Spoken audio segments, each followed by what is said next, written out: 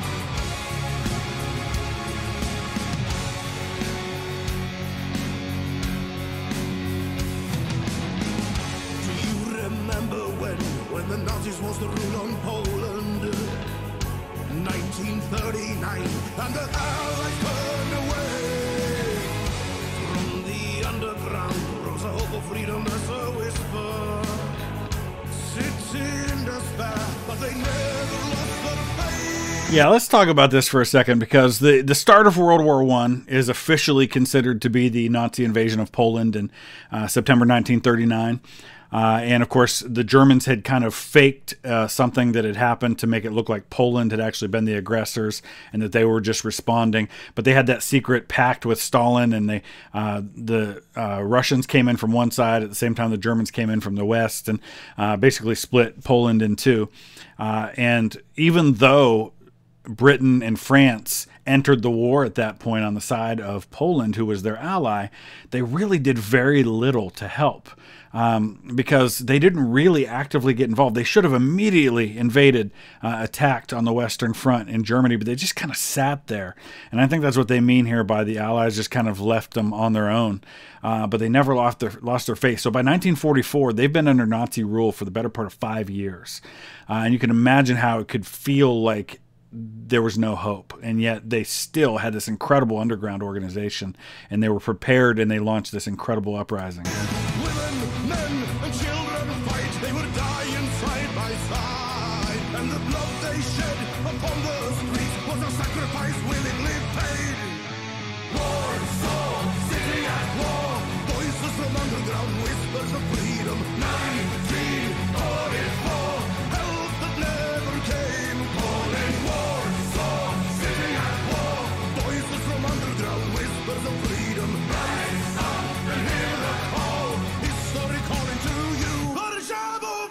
I like that.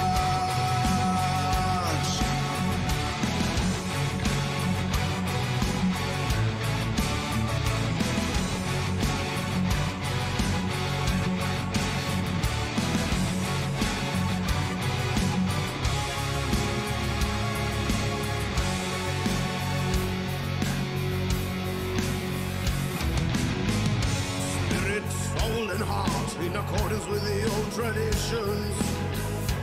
1944, still the Allies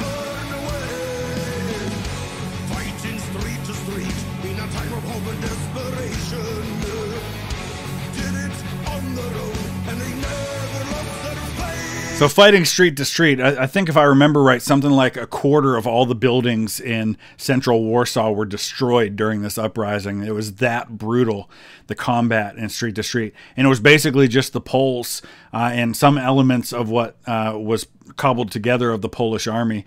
Uh, and again, the, the Russians by this point had gotten right to the outskirts of Warsaw and they stopped.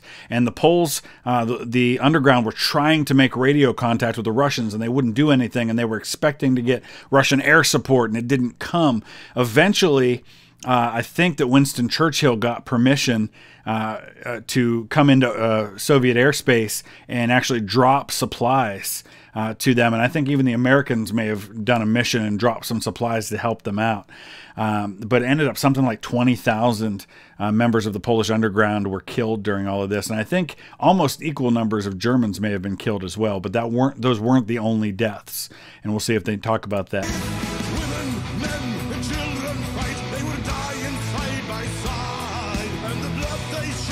upon the streets was a sacrifice willingly paid.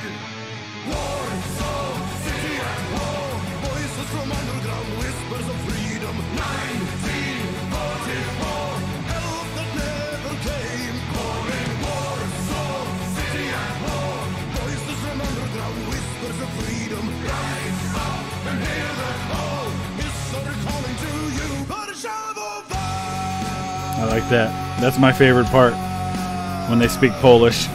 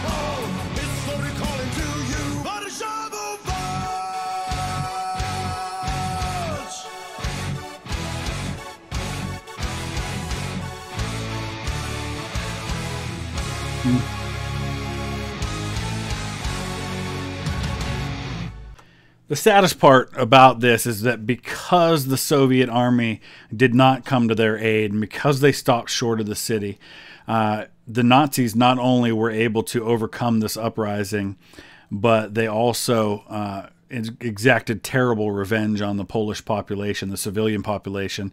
And I think something upwards of 200,000 civilians were killed, mostly in mass executions, uh, as a uh, in reprisal for this uprising. And so, while it was incredibly heroic and could have really made a difference, and I think it still did make a difference, um, ultimately the the goals fell short because they didn't get the help they needed. And unfortunately, that wasn't the first time that had happened. But uh, the Polish people throughout the war uh, fought valiantly, both civilians and, and war alike.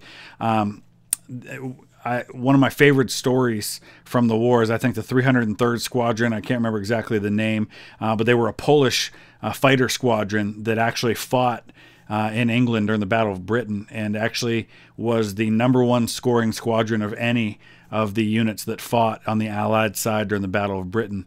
Uh, and so that's just one more example of the fighting spirit of the Polish people, which I think was outstanding. They just never really got the help they needed. Uh, so I give all the credit in the world to those people for keeping the faith, for continuing to fight even after many years of oppression.